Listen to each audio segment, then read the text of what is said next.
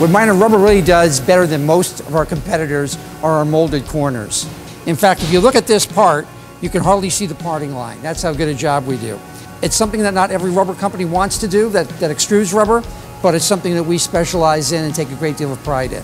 Yeah, you can do it. You can do a molded corner, you can do an injection molded corner, or you can do a butt splice. They're all done under heat and pressure.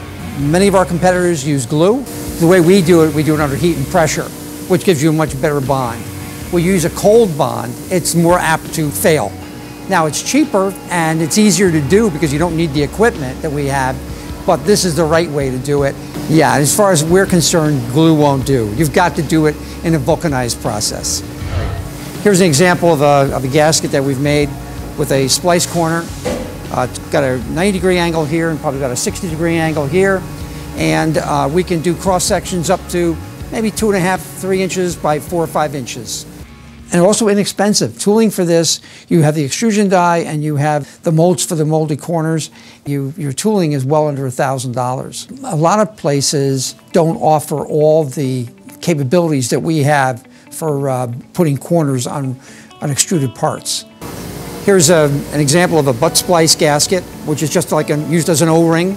Uh, we can do these where they're solid, or we can do them with a butt splice if they have a hollow ID. The advantage of a, of a butt splice is that it, it stands up, it won't fall apart.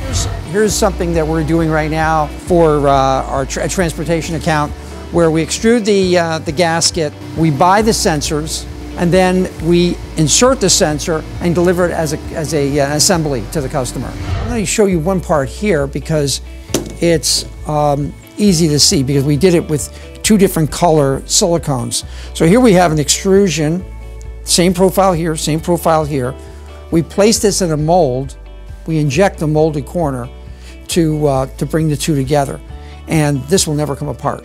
This part we could only do in, say, six foot lengths and cure it conventionally, or the ovens aren't deep enough. So what we do is take two long lengths and then butt them together to form an even longer length.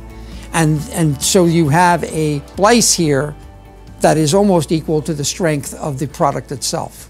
We always say, let all your rubber problems be minor problems.